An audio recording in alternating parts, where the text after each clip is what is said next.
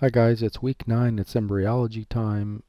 We're going to talk about some important stuff today, differentiation of the lateral plate mesoderm and the paraxial mesoderm. Very important stuff. It's the spring of 2021. I know it's Memorial Day, but we still, the law says I still have to give you this lecture, so here it is.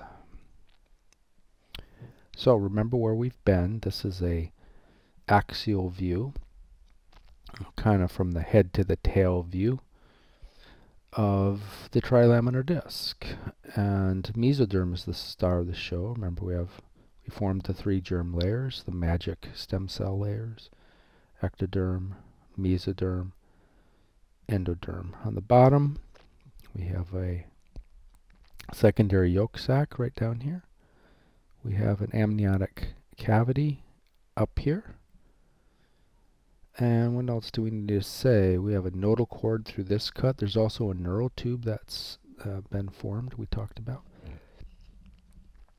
Maybe not at this point. The, the, we talked about that last week, the uh, formation of the neural tube. That's forming at the same time. We're kind of backing up to do this story.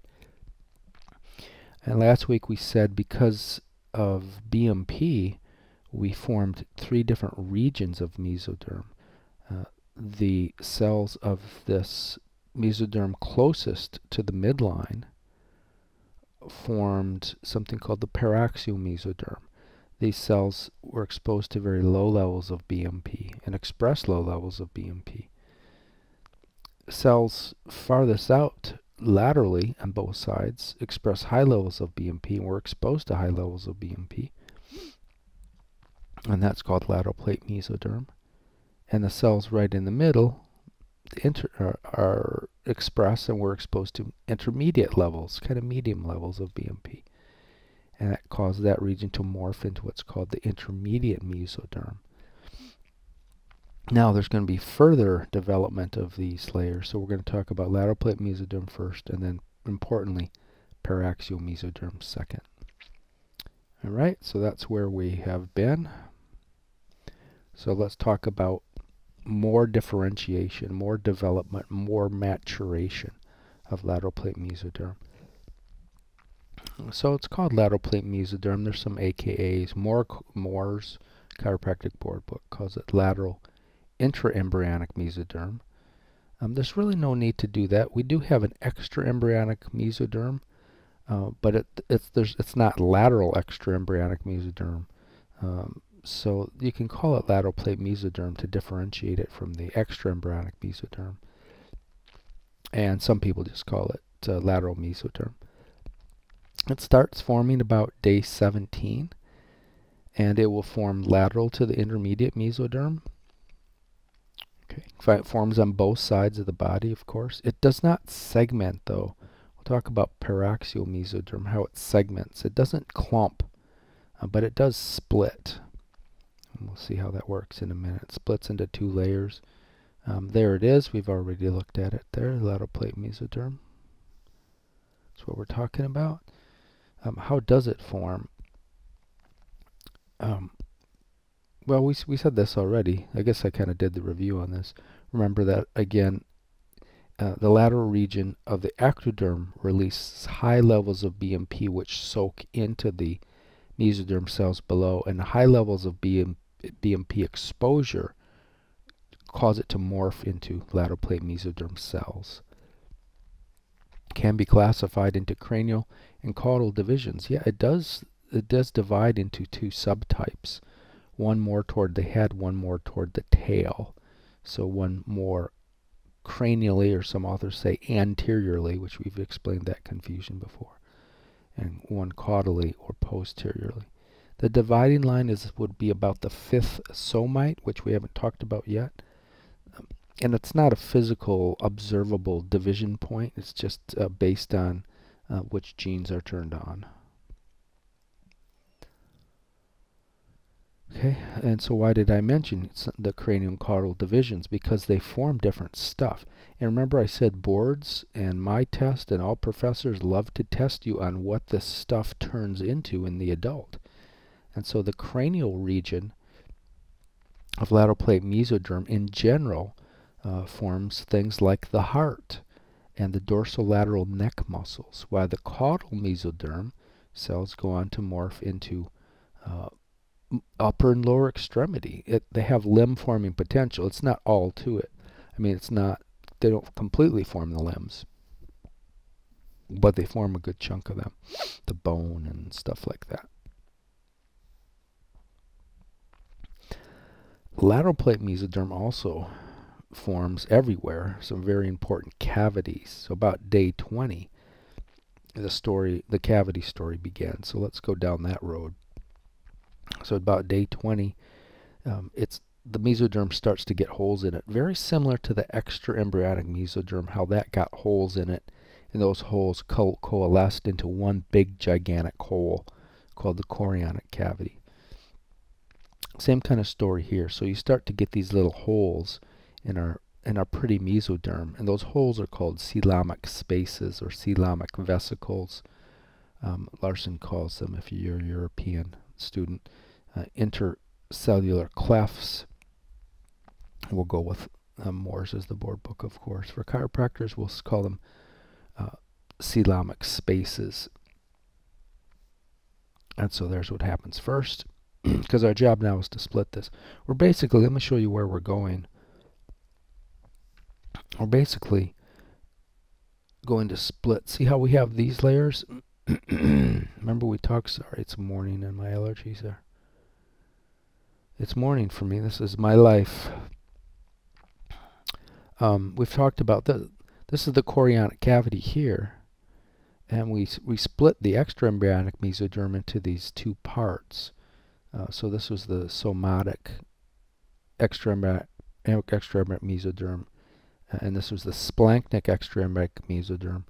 Remember that one chiropractic board book calls this the uh, parietal layer, parietal mesoderm, or parietal extraembryonic mesoderm, and this the visceral mesoderm or visceral extraembryonic mesoderm. And I know I hear you whining, and it's not my fault. Don't don't shoot the messenger. I'm just giving you a very thorough understanding of embryology, and the authors are confused themselves amongst themselves. So we have all these darn AKAs. But anyway, it'd be nice to split this and keep this right on going, and that's what we're going to do. So we're going to con continue on down uh, and create a parietal lateral plate mesoderm and a visceral lateral plate mesoderm. And here's the AKAs. Uh, you could call this somatic lateral plate mesoderm or splanchnic lateral plate mesoderm. And to do that, we need to basically just make a cavity out of this. Alright, so that's where we're going. Alright, so there's the beetles there. They come together, and that's what the coelomic uh, little cavities do. They coalesce together into a new big cavity called the intraembryonic coelom. Intraembryonic coelom, and there's that darn Langman calls it the embryonic body cavity. So watch out for boards, you chiropractors. It could well be called embryonic body cavity. Most of the authors call it the intraembryonic, the intraembryonic coelom. Um, about just a side note, we'll talk about this next week, but folding starts because right now we have a flat, a flat little disc. We need to fold that into because we're not flat, are we? We're round, so we need to fold the flat disc into a tube. So right about now when this intraembryonic coelom forms, um, folding starts about the same time. Right, so now we have a nice intraembryonic coelom going on there. Um, what's next? So this intraembryonic coelom is very important. Uh, about the second month, what's left of this embryonic coelom uh, will fold and create three very important cavities. The pleural cavity, the big P cavities I'll call them. I talk about this in fifth quarter constantly. The pleural cavity, that surrounds the heart. It's a little thin cavity that surrounds this, the heart, between the parietal and the visceral, the visceral layers. Pleural cavity, so pericardial cavity, a pleural cavity surrounds the lungs and a peritoneal cavity. Some call it peritoneal. I like peritoneal. Tomatoes, tomatoes. Peritoneal cavity, which surrounds the intestines and organs, and that's basically your belly where all your intestines are inside the peritoneal cavity. And We'll get to that in depth in fifth quarter. All right, that's enough about that. And then what happens next is our cavity communicates with the chorionic cavity, as I already kind of showed you. And it kind of rips through, and so there is no more cavity. It's just a continuation of the uh, the chori chorionic cavity. And you ha we have, for a while, we have a temporary communication uh, with that chorionic cavity. Remember the AKA for the chorionic cavity is the extraembryonic coelom. Um, so our new cavity that we just created is called the intraembryonic coelom. Um, it's still called that, right? It's that's what it's called when it's a cavity. The important thing is we have a we have a continuous cavity there, and we've created. The important thing is we've created two new layers, as I just said. And just again to remind you, uh, back in this view, back when we were a bilaminar disc, remember we had extraembryonic mesoderm in pink, and we the same mechanism occurred out here where we split it with this uh, with this chorionic cavity or extraembryonic coelom. And it's basically this same thing goes, it'll uh, lateral plate mesoderm will be right here. It basically splits right into here. Is another way you can look at this. Be something like that. Alright, so there we go. Embryonic coelom is now open. Uh, the embryonic coelom meets the extraembryonic coelom, you could say. Is that true? That's a true question. Or you got to know your AKAs. Extraembryonic coelom, or the intraembryonic coelom meets the chorionic cavity. That's true. And there I just drew in the visceral mesoderm here. Um, and this would be a parietal mesoderm. Or you can use the full name, extraembryonic somatic mesoderm, extraembryonic splanchnic mesoderm. Alright, so two new layers have been created as we said. Uh, so we, this top layer is called the, right here, so this pink layer, um, that takes the name parietal. You could use parietal. Parietal lateral plate mesoderm is one AKA for it. Or you could do the full name. This could be the somatic lateral plate mesoderm. You shouldn't really call it the somatic intraembryonic lateral plate mesoderm. You could, but that's going too far because there's only one lateral plate mesoderm. So um, this one uh, would be the splanchnic. Splanchnic means inside layer. So splanchnic lateral plate mesoderm, or the full name, extraembryonic splanchnic lateral plate mesoderm. I know, I hear you. It's confusing. Um, we'll look at the so the concept of the somatopleure here uh, in a second. And the splanchnopleure, those are combinations. We'll look at that on pictures. The best way to show you that. Um, but you can read that. Let's just go look at it now. So here it is again. So there's your full name. You could call it somatic lateral plate mesoderm, splanchnic lateral plate mesoderm. Got it? What does the splanchnic lateral plate mesoderm connect to? Well, it connects to the splanchnic extraembryonic mesoderm. And then remember your AKAs. This is also uh, the the visceral layer. This is this is you could also call this visceral lateral plate mesoderm, parietal lateral plate mesoderm. And some call this visceral extraembryonic mesoderm and parietal extraembryonic. Oh, sorry, parietal, the parent's on top. Parietal extraembryonic mesoderm, visceral extraembryonic mesoderm.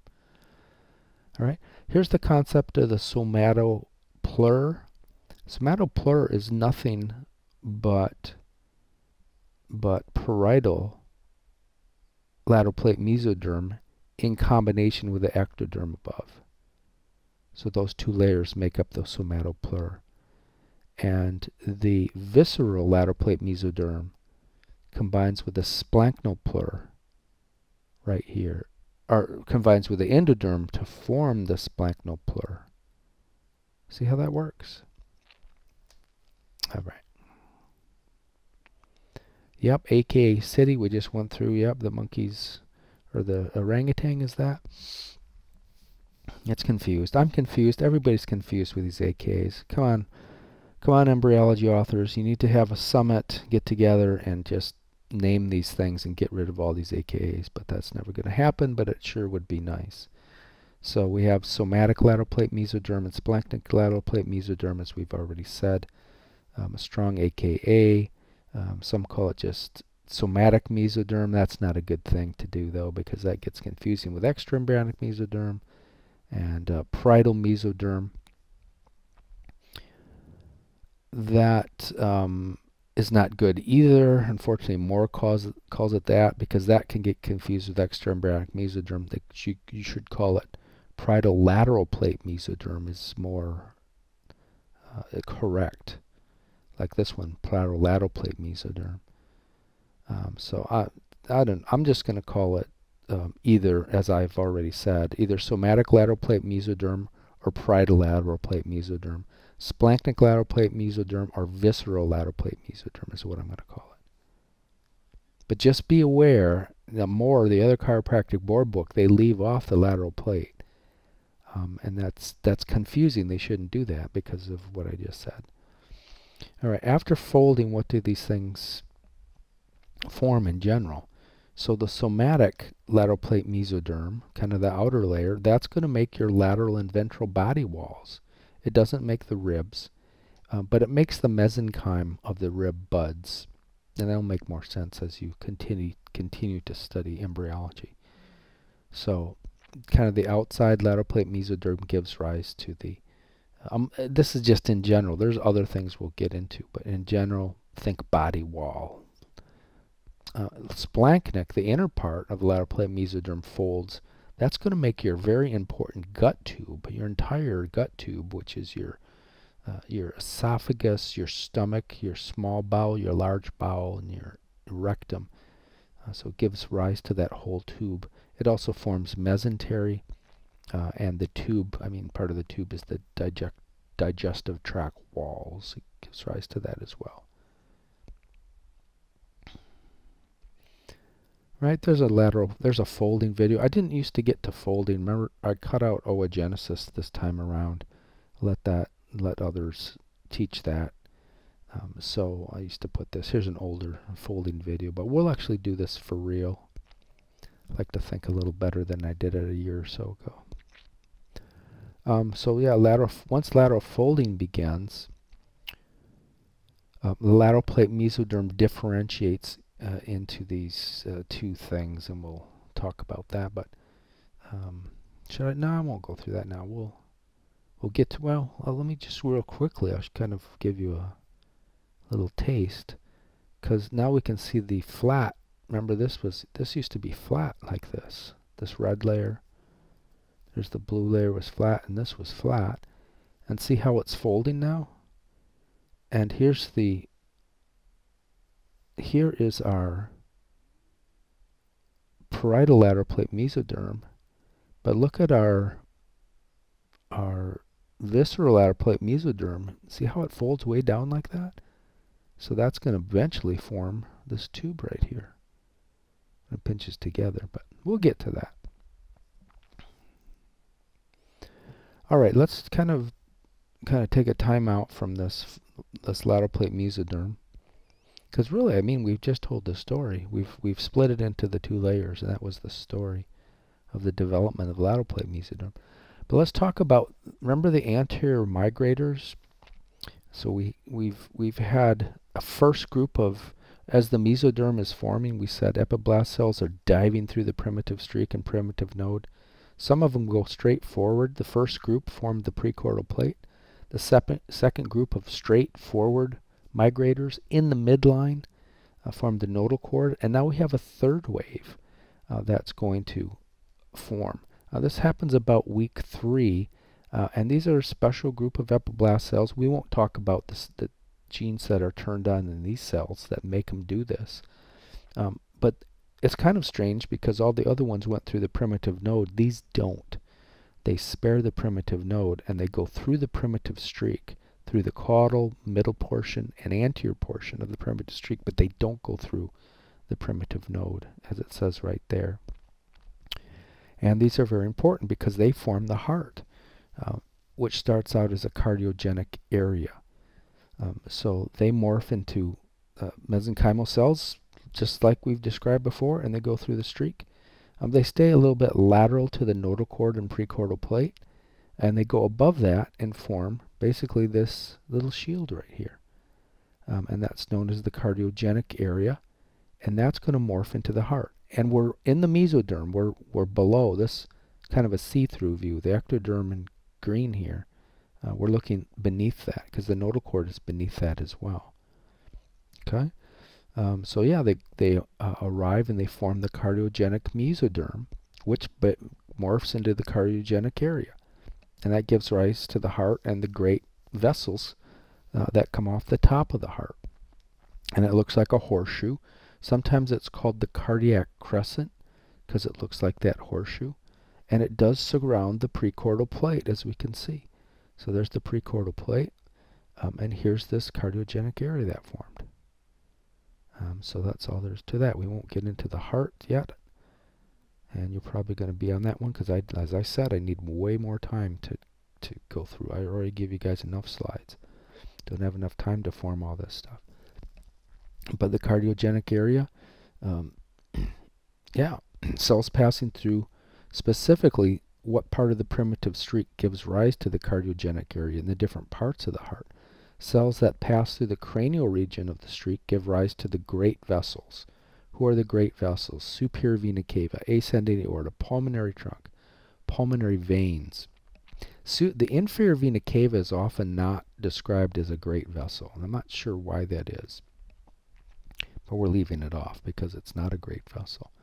Cells passing through the middle part of the streak form the heart's ventricles, right and left ventricles. Cells part, passing through the caudal region of the primitive streak give rise to the heart's atria. Right? So here's, you should know this.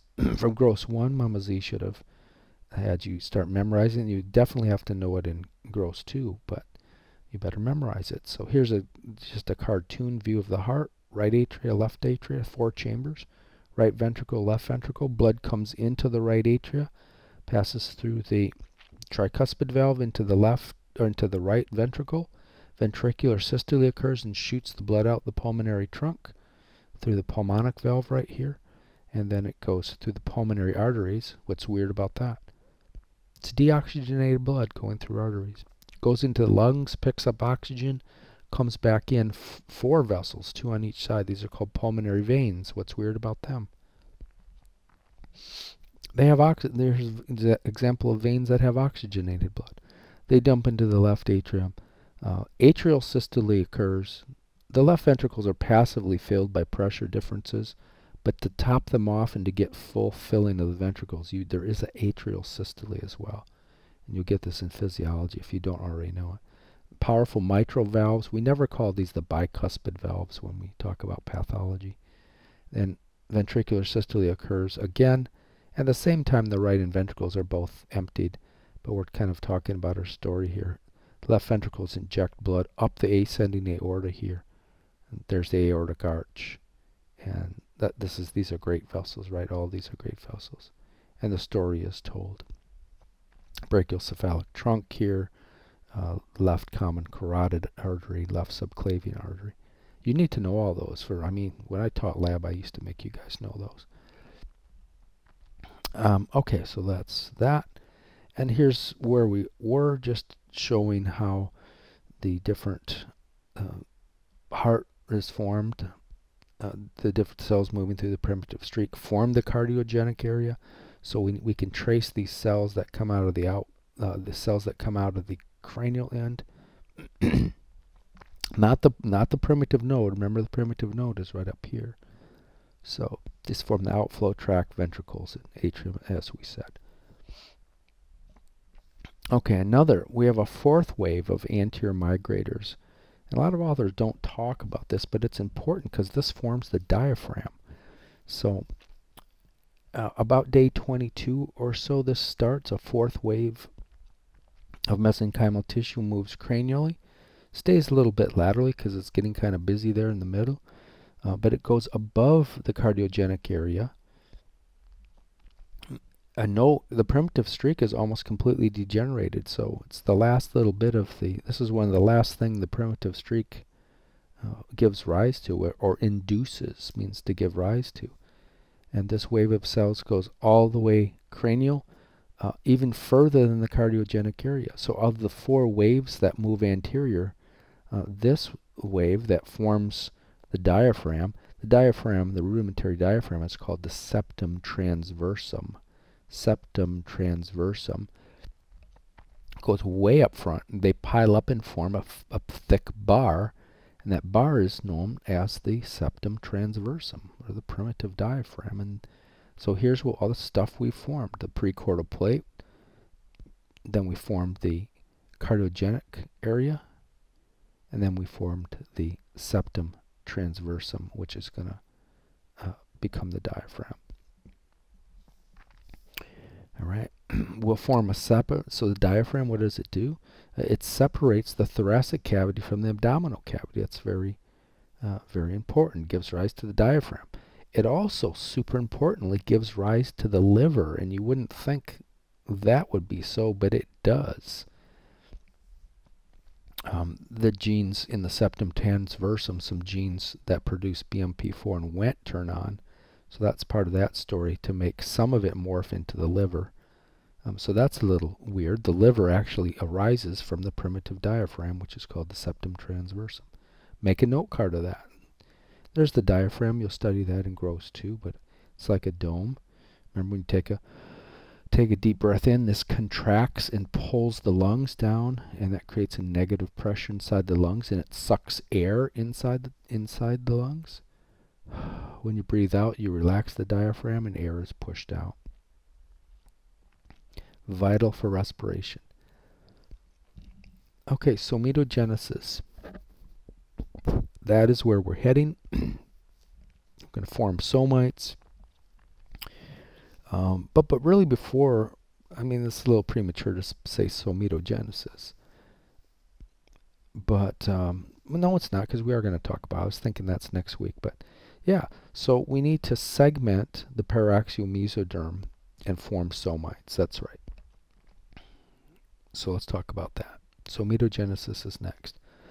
There's where we are. We already know that story. We just talked about how we split the lateral plate mesoderm, but another story is going on. This paraxial mesoderm is clumping into units uh, mesoderm. Uh, where does it uh, where does it form? It forms everywhere. Um, it's in the cranial region. It's in the it's in the occipital region. It's in the cervical region. It's in the trunk. Remember the trunk embryologists use the word trunk to mean thoracic, lumbar, sacrum, and coccyx. Why they do that, I have no idea. It's always confusing. Um, so yeah, so clumping of this paraxial mesoderm into segments is called uh, segmentation. So it's a very important process of embryogenesis. No segmentation, no life. You have to you have to have this segmentation occur of the paraxial mesoderm. And it basically clumps into blocks of back to epithelial structures where some of them, like the somites, you can see with a microscope. They're very, very visible. Um, and the ones in the cran cranial region are called somitomeres, uh, and the rest of them are called somites. So when I went to school, there's only somites, but there are somitomeres now. They've been around for a long time. So how does this clumping story? So the entire paraxial mesoderm, I mean, right, at, we already said mesoderm runs all the way down to the tail, down down to the coccyx, all the way up into the skull. Um, it starts up here. So way up cranially, the very first kind of block of paraxial mesoderm clumps about day 19 into really visible structures. And those are the first pairs of somitomeres are born. All right. Um, in order to clump, because we have mesenchymal tissue, this is mesoderm we're talking about now, right? We're not talking about endoderm or ectoderm. This is mesoderm. So the mesoderm is mesenchymal. So um, it used to be epidermal. We turned it into mesenchyme. Now we're turning it back into epithelial. So this is called mesenchymal to epidermal conversion. Um, so we're clumping it together, and the first somitomeres are born. And we won't go into the genes. I thought, did I take? Um, I thought I talked about that last quarter, but must have taken the slides out. It's going too far into the weeds. Maybe we'll talk about it next week, though.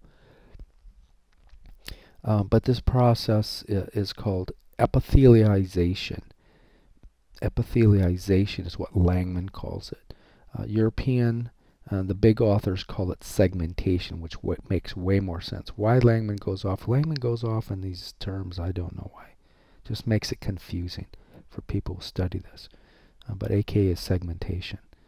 Um, so after the first pair of these are made, uh, almost immediately another pair of somitomeres forms, just caudal to the first pair.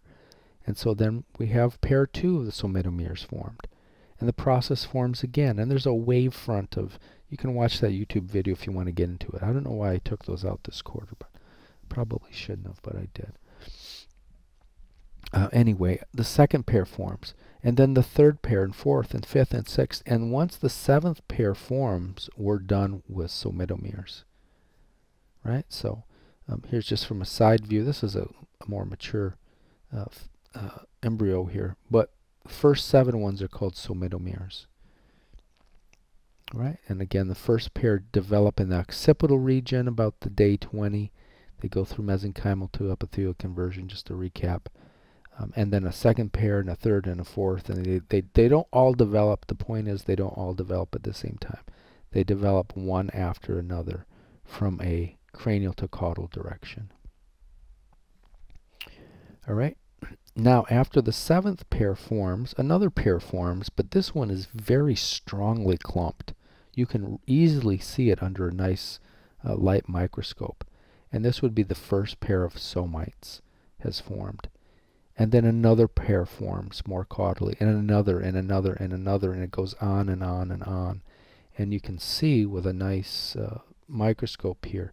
Somitomeres are a little are up in here. They're a little harder to see, but you can certainly see the first somite is formed right about there. See how clear that is? And there's another one, and another one, and another one. And this, remember, this is underneath the ectoderm. This is happening. This is in mesoderm or, or they're they're so clumpy they push right up through the uh, and bow the endoderm up. But they are underneath that. And so, um, yeah. So, yeah, two, so new pairs of uh, somites develop. About three new pairs develop every day. And uh, yeah, they just keep developing, developing. There's a pre-somitic zone where certain chemicals Arachidonic acid is involved. I won't test you on that because I didn't put the slides in, but there's some there's a wave front. There's a kind of a chemical gradient of arachidonic acid as part of the story, if I remember correctly, but we won't test you on that. All right, this this area right here where the next somite will form is called the pre-somitic zone, or the pre-somitic area. All right, it's important to know that the somitomeres and the somites develop in a cranial to caudal direction. That's important to know that. Alright, so here we go. There's the somites forming. Now the story is, remember the neural tube? That's going on at the same time. The neural pores are closing about the same rate that these somites are forming. So that story is going on at the same time. What's the result of all this epithelialization or segmentation? Uh, well, and this is controversial. Of course, everything's controversial in embryology. By the end of the fifth week, uh, we have about 43 somites that have been formed. Uh, some authors, like Langman says, the first pair of occipital somites actually disappear. Uh, and a few of the coccygeal somites disappear. So according to, uh, for chiropractors, Wade Langman, the final count of uh, somites is 38 pairs of somites will form. Uh, so 38 pairs here. Right, so what's the final count? Um, so we have seven pairs of somitomeres. We have four pairs of somites in the occipital region. We have eight pairs of somites in the cervical region, 12 pairs in the thoracic region. Those are familiar numbers. 5 pairs in the lumbar region, 5 pairs in the sacral region. Uh, anywhere from 2 to 10 pairs. It can be variable here uh, for the coccygeal region. Okay, so eh, more importantly, what do somites give rise to in general? This is a very important slide, so you got to make a note card out of this slide. Um, so they ultimately give rise to the axial skeleton in general. That's a huge deal, right? I mean, that's the whole star spinal anatomy is the axial skeleton. So the skull, not all the skull, uh, because uh, we have um, other other tissue. Other there's uh, there's a little more to the skull story. In fact, we talked about neural crest cells, how neural crest cells actually form a part of the occiput and there's other things that neural crest cells help, but most of the skull is formed um, by somites. The muscles of the axial skeleton, that's a big one. Um, not all of them, but most of them. Most of the dermis, the dura, all of the dura mater, most of the dura mater, and then blood vessels.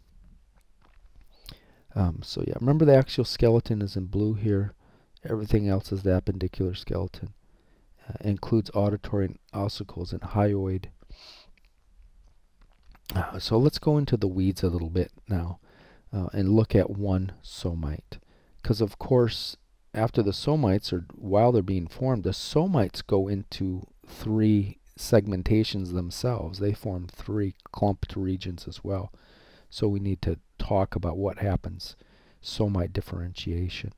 So we have a somite, a block of tissue the very first thing that happens is a hole forms in the middle of the block of tissue.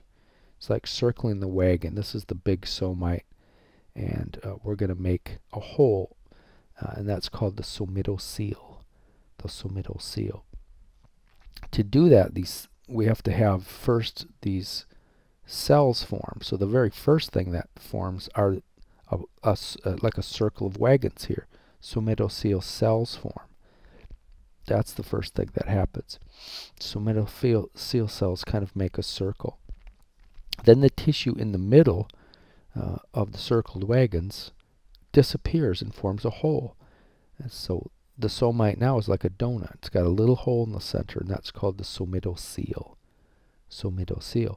Somitocele cells are super important to chiropractors uh, because they form some really important stuff. They form the annulus fibrosus of the disc. What formed the nucleus pulposus or helped formed most of the nucleus pulposus? Notochord. Um, so, so these somitocele cells, they form the annulus fibrosus, um, and they also form the articular surface, the facets of the superior and inferior articular processes of the Z joint. So some very, very important stuff uh, these somitocele cells form. So here we go here's our kind of our head-on view, our cranial to caudal view or axial view, whatever you want to call it. Uh, we can see we have our neural tube, we have a notochord still hanging around, and here is our here is a cut through a somite, and we can see, yep, we got a, a hole formed right in the middle of the somite and surrounded by somitocele cells. Got it? Okay, what happens next? So let's meet the sclerotome. That's a very important word. Let's meet that next. So now uh, the the ventral medial part in that talking about that same view, the ventral medial part of the somite undergoes a change. And specifically, uh, there are two signaling molecules that soak into this ventral medial part, uh, which come from the notochord and the neural tube. Um, and these soak into the ventral medial part and they turn on two genes. Uh, the PAX1 and the PAX9 gene are turned on. Very important genes. 19. PAX1 and 9, they produce gene products. I think that's all the deeper we're going to go. Uh, but they cause that ventral medial portion of the somite. And remember, this is we're still mesoderm. This is still mesoderm tissue. Um, surprisingly, they turn they cause this tissue to go back into mesenchymal tissue. So that's like crazy, right? We started with mesenchymal tissue. To make a somite, we turned into epithelial tissue, and now we're going back into meso, uh, mesenchymal tissue. So it has the ability to move. Uh, so that's an example, really, of mesenchymal to epithelial to mesel transform or mesenchymal transformation. But now it's getting ridiculous. So they're going to cause call uh, these cells uh, secondary mesenchymal cells because they've already been mesenchymal, converted into epithelial, and now back into mesenchymal. All right, so we have uh, bottom line this dorsal medial portion of the somite um, is a secondary mesenchymal tissue, and that means it's going to move, and that's a good thing because it's ultimately going to move, surround the neural tube, and form our spine form our vertebrae. So it's really, really important tissue. Okay. So yeah. So this new, these new secondary mesenchymal cells get a new name. They're called sclerotome cells. And this region is now known as the sclerotome. So let's see what happens. So um, you can see our beautiful clumped somite a third of it is now turned back into cells that have the ability to move. And so these cells, the, the cell's more medial, but technically it's dorsal medial in this view. Um, there's your sclerotome cells, and they can move because they're, they're mesenchymal cells. See how that works? This is still epithelial. This is all clumped together. Okay, and these guys are going to go do the same thing here in a minute, but we'll get to that. All right, what happens next? Or what do they become? More importantly, this is really important. So what do sclerotome cells become? Um, well, first let's tell you what the, another thing they do. Um, they produce two substances that you guys know already, glycosaminoglycans uh, and chondroitin sulfate. Or they, they produce chondroitin sulfate, which is a glycosaminoglycan. It's a GAG. So um, the genes for chondroitin sulfate, um, both chondroitin sulfates turn on, uh, and the gene that makes core proteins turns on. So we can actually make a proteoglycan now. So bottom line, sclerotome cells, early sclerotome cells start pro producing uh, proteoglycans which kind of surround them. Okay, we know all about those from spinal anatomy. And now the proteoglycan encased sclerotome cells move over uh, around the notochord or around the neural tube and they can support other cells called osteoblasts uh, move into the area and get stuck and kind of embed themselves. They love to be in this proteoglycan gel. Uh, and they hang out there and they turn into bone. so bottom line, sclerotomes make most of the vertebrae and they make the ribs. Okay, we said sclerotome cells kind of migrate and surround the notochord and neural tube. Uh, both of those structures to make vertebrae and ribs. Right. Fibroblasts and chondrocytes are also created from sclerotome cells. Some sclerotome cells don't turn into bone or they, they don't support osteoblasts. Um, some morph into fibroblasts and chondrocytes. Therefore, they give rise to the meninges. Uh, the dura, arachnoid, and pia comes from sclerotome cells. Now, what if the question is less deep? It's more general question. So you got to start thinking like this. Uh, so meninges arise from ectoderm, mesoderm, or endoderm. Well, they arise from sclerotome cells. No, but what are sclerotome cells comes from? They come from somites. What do somites come from? They come from mesoderm. So you see how that works? The, the questions might have different levels of depth, so you have to understand where all this stuff comes from. So meninges come from, uh, from mesoderm. Vertebrae come from mesoderm. Ribs come from mesoderm, but you could go deeper. You could say they come from somites. That's true. You could go deeper. You could say vertebrae and ribs uh, come from sclerotome cells. And that's, that's about as deep as you can go. See how that works? Okay, let's go back to our somite. So we have a third of our somite is now mesenchymal tissue, but two-thirds of it is epithelial tissue, and we can't have that, can we? so let's go back to the story. Let's talk about a new layer called the derma, uh, dermomyotome. I, I, like to say dermatomyotome, but it's dermomyotome. So next, the dorsolateral part of the somite cells are stimulated by the gene product Wnt. Uh, Wnt turns on Parac, uh, PAX3, 7, and Paraxis gene. And with those three genes on, they're going to morph into um, something different. But this is a little strange setup. Uh, PAX 3.7 and Paraxis are only turned on at the extreme ends of the part of the somite that is still epidermal. Let's look at a picture here. So this is where these genes are turned on. So we have sclerotome cells here. We've talked about them already. And so this was all epithelial tissue. But the genes at the ends of the two-thirds remaining, they're the ones that are going to turn mesenchymal, right? This whole structure uh, is called the dermomyotome. But we're going to change that real quickly. I think I kind of jumped ahead to show you that picture. So only the extreme ends of the uh, of the epithelial cells that are left, uh, the PAX3, 7, and Paraxis genes get turned on. And um, yep, they go through those genes cause another transformation, epithelial to mesenchymal. So the ends of that region become mesenchymal. Um, and that's actually, we'll see what that becomes in a minute. But right now, that whole region, once they start turning mesenchymal, we have kind of a sandwich, uh, an epithelial sandwich with mesenchymal tissue on the ends and epithelial tissue in the middle. That whole structure is called the dermomyotome. It's kind of short-lived, but we'll show you what happens to that. So there's the short-lived dermomyotome.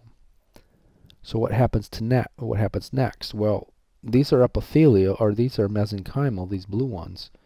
Um, so they have the ability to crawl, and what they're going to do is they are going to crawl right underneath here. So they're going to push these middle region, these, epi uh, these epithelial cells, they're going to push them up this way. And so we're going to form a three-layered sandwich here. All right, so they migrate, they move beneath the epithelial uh, region of the dermomyotome. Um, and as they do, that splits it into two layers. We have the myotome and the dermatome. Let's see what happened. Uh, so here you can see them migrating underneath. Um, and that creates a new layer of cells. These will be known as the myotome. So we have sclerotome. We've already talked about them. Go on to form the bones, the vertebrae and ribs. Now we have these new layer called myotome cells. And then these are called dermatome cells, and they stay epithelium. See how that works? And there we're done. The donut hole cells are also migrated. They became epithelial or uh, mesenchymal as well and got the heck out of there. We'll talk about them in a while. But there is a mature somite, which is made of epithelial tissue and two layers of mesenchymal tissue. And this is not going to stay around forever. It's going to go morph into its structures. But there you see what a mature somite looks like. What are the three layers of the somite? From dorsal to ventral. Dermatotome, right? Still epithelium. Myotome and sclerotome. Got it? What does the, uh, in general, what does um, that give rise to? What does the dermatome give rise to? Uh, well, it's epithelial, so how about the skin? And that's what it gives rise to mainly, uh, but not all skin. Uh, the dorsal dermis of the trunk, really the dorsal lateral dermis of the trunk, oh no, dorsal dermis, that's right, of the trunk, um, is formed by, um, and what is the skin, right? That's epidermis and dermis. So the, dermato the dermatome cells give rise to the dorsal dermis of the trunk, so basically your back. Um, the central and lateral trunk and the dermis of the limbs comes from lateral plate mesoderm. So watch out for that. Boards do like what the dermis is complicated how it forms. Um, so uh, the dorsal dermis comes from dermatome cells. The lateral and central dermis of the trunk uh, come from lateral plate mesoderm. Um, and then we've already talked about how neural crest cells up in the head region give rise to some of the dermis as well. Um, you could say it comes from mesoderm, make it easier, can't you? Yeah, so most of the dermis does come from mesoderm. Where's the epidermis come from? How about that layer right there? Dermatome. No, it doesn't. It comes from epi uh, from the ect ectoderm cells. We'll get to that. Um, okay, so the central region of the dermatome um, is now gives rise to two. It, it's now known. So I'm not. Is this? Would I get this from a paper? Um, this is from Carlson. So for Europeans, this might be fair game. Chiropractors don't need to know this, uh, but I mean it's nice to know. So the central region of the dermatome,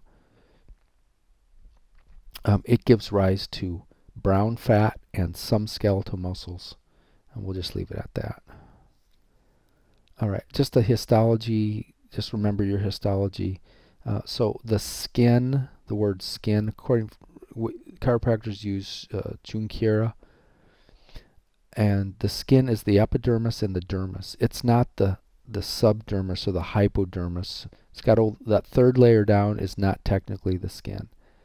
Um, so just remember where the dermis is. Right. So there's the dermis. Stratum basale is the basal layer. The, there's where all the stem cells are. We'll go through that talk about that briefly in dermatology, but Dr. Doe should have talked about how the skin is formed. These are all the keratinocytes in different phases of their lives. All right. Um, what about the somitocele cells, the donut cells? We said they turn mesenchymal too, um, and they did. While somewhere where they're not exactly sure where this occurs, but somewhere after or during the formation um, of when these go through epithelial to mesenchymal transformation. Somitocele cells also go through epithelial to mesenchymal transformation. And then they get they get the heck out of the way because this thing is morphing into a three-layered beast. So they move out uh, next to the neural tube. Some authors call these arthrotome cells once they move out of the somite. Now, chiropractic board books still call them somitocele cells, so we'll stay with that.